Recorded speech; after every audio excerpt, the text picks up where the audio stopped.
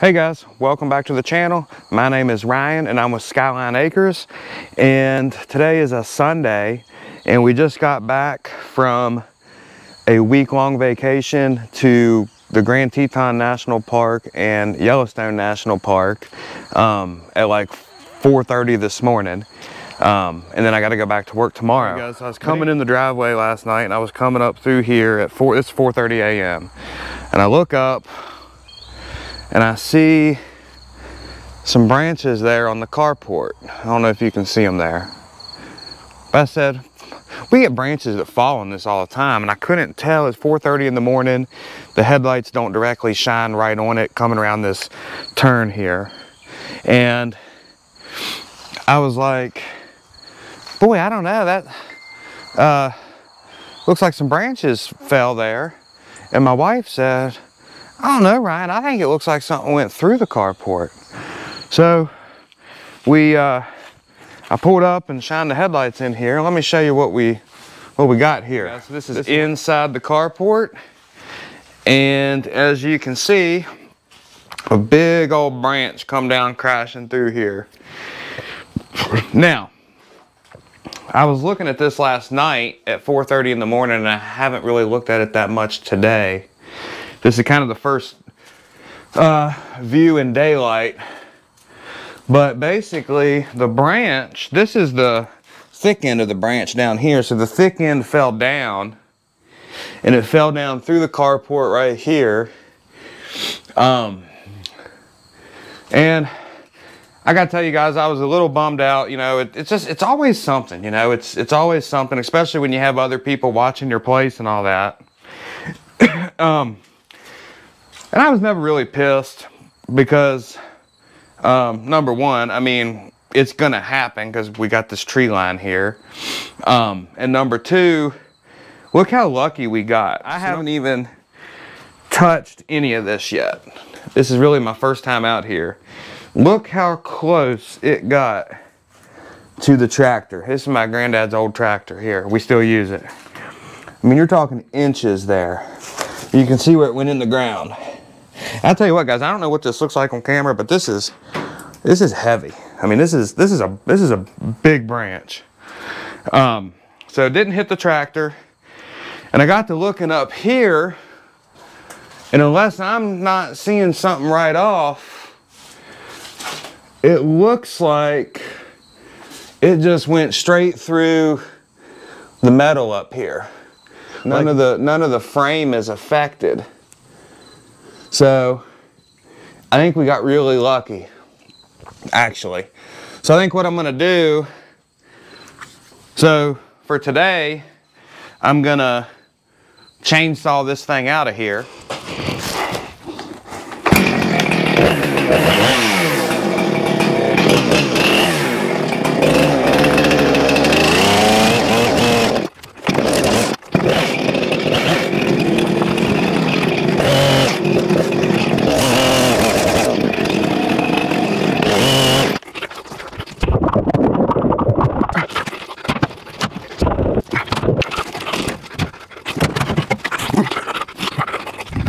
Right guys, so I got the branch all cut out of there. It's pretty easy. Um, and it's like anything, you know, it always looks worse when the branch is all in there and all that. And you start cleaning it up a little bit and it doesn't look quite so bad.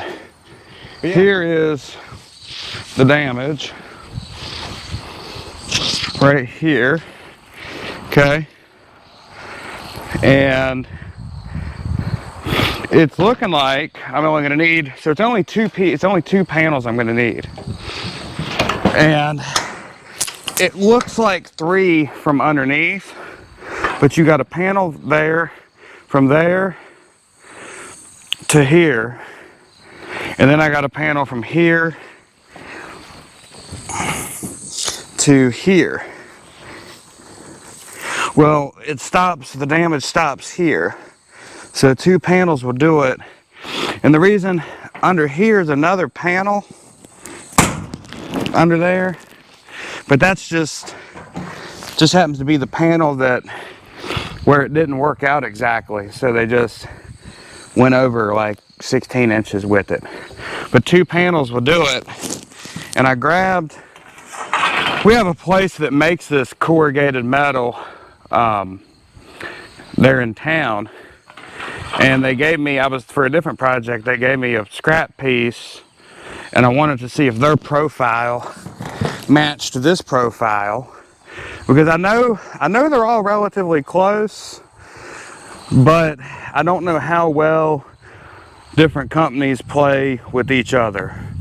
And it turns out this is identical. So this is where this one will start right there and then it'll come up here. You can see it's identical there. I'm not going to use this color obviously. This is a piece of scrap. But this will end right there right where that one ends. Okay? And then the second panel will come up under there. It'll go under there. And it'll come down and go right there to where that panel ends right there and I should get all that damage. Um, we got back from our vacation uh, last Sunday. On Monday, I called uh, the local place in town that makes, um, they custom make roofing panels, siding panels and all that. And they're a lumber yard and everything too. And I picked out the color and I got the measurements and everything that I needed. And on Tuesday, they delivered the new panels. That is not the color. That is a protective piece uh, they put behind the actual color, or the actual pieces. Um, but anyways, it's really nice. They they band it up and they there's wood in here and, and all of that. It's really nice. I thought about trying to go out there and get it myself and all. And I just, I mean, it's 21 feet long. Our trailer is 16 feet. I, you just the stuff is flimsy. It's just it's just not worth it. So i had them deliver it. But anyways this carport guys it's old. It's like 30 years old. Obviously it was here when we got here. There's already there was a patch. I don't know if you can see that patch up there. But i showed it in the other video. There was a patch done on that um, prior to us moving here 10 years ago. I went back on google earth and you can go back in time. And this thing was put here in like 1990 or something. So it's old. It's gonna get beat up. We got all these trees here. Uh, some of them's dying and different things. And next thing on my agenda is I wanna rent a cherry picker and I wanna trim up some of this stuff up here. I mean, that's a branch there I definitely wanna get and so, stuff. Quick little funny story. Um, I went to go get an eight millimeter wrench or uh, socket for these bolts and I got my I reached for my quarter inch impact driver that I always use for my woodworking and everything. And I went and got a. Uh, I was going to get the adapter to go from the hex quarter inch um, to the square. And I said, shoot, I said, I've got a 3 8 inch impact. And so, I don't know guys, I don't know about y'all, but this came with one of my kits and I never think to use it. It's Woo! All right, guys. So I got both panels removed. All right, here's one just kind of sitting there now, okay? The other one was here. I got it removed. And then as you can see, I got the uh, one of the new panels just laying up here. And it sure looks like it's gonna be perfect. I mean, from, from this edge to this edge looks to be exactly the same dimension.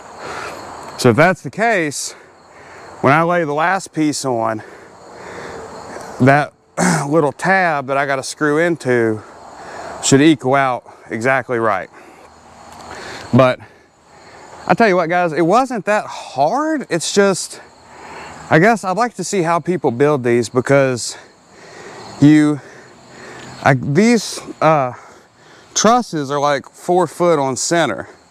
So to walk, you kind of got to walk here and you kind of got to slide over to that one before you put a whole bunch of weight on it and keep doing that. All right, one other thing, just wanted to show y'all, this is the bag of screws that I think it's like a bag of 250. It's just what they sell. It's probably just standard in the industry.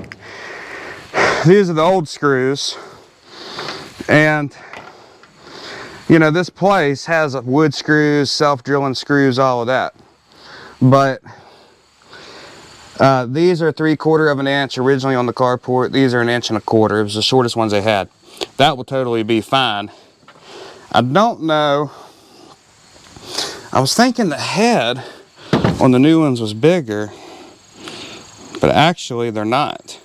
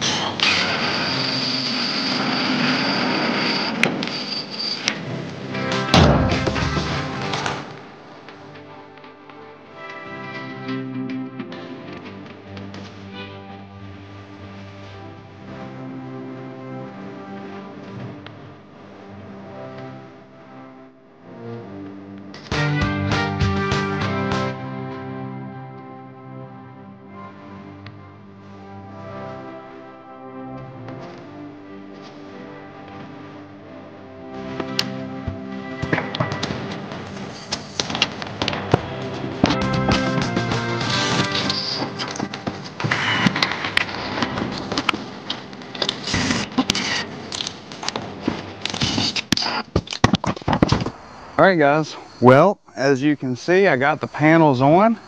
Let me show you. And I tell you what, guys, there's the other side. It was right on that peak. I mean, this this piece here bends over a foot or so. Um, but anyways, got her done. I would walk down there and show you a little bit more, but I'm kind of tired of walking on it. Anyways, guys, that's another project in the books. Um, I'm glad to have got that done. That was, that's one of them that could have lingered for months or I could have just taken action and what time is it? Let me see. It's actually about 5.45. So doing this by myself, I did this in about four hours, which taking the old stuff off, the old mangled stuff over there, right there, and getting the new up on there by myself and all of that, I think that was pretty daggone good. So guys, I know this carport is nothing super special. It's a 30 year old standard carport, you know. But I will say I've really enjoyed having it here. We've used it for the whole 10 years we've lived here. It's really convenient to the house, which is right there. And we, we keep stuff in it. I, I really enjoy just being able to run stuff in it real fast, the mower and different things, and just not have a garage door to worry with and all of that. Um, and you know, guys, you can't always afford to build a new building or buy a new carport or do whatever, you know. So in this case, this carport sets over here by the trees. Is really no point in replacing the carport. I mean, the the steel frame of it is totally fine. And if I have to come up here and replace some metal every now and again, you know, so be it. Wasn't that hard and it wasn't that expensive. With that said, this is gonna be the end of this video. I'm glad to have got this done. From the time the tree hit, well, we were on vacation, so I don't know exactly what day the tree hit, but from the time we noticed it till the time it was fixed was a week. Um, so I'm pretty pleased with that. And the next step in this project is going to be, I think what I'm going to do is rent a cherry picker, kind of like I already said. Might even do it next weekend and come through here and get some of these tree limbs that I can't get with my pole saw. Um, So that video may be coming up in, uh, well, I don't know when it'll come out, but I might do it next week. guys, I hope you guys enjoyed the video. And if you did, go back out there and check out some of our other content. Give this video a like and consider subscribing to our channel because it really helps us grow. With that said, guys, we will see you again next time.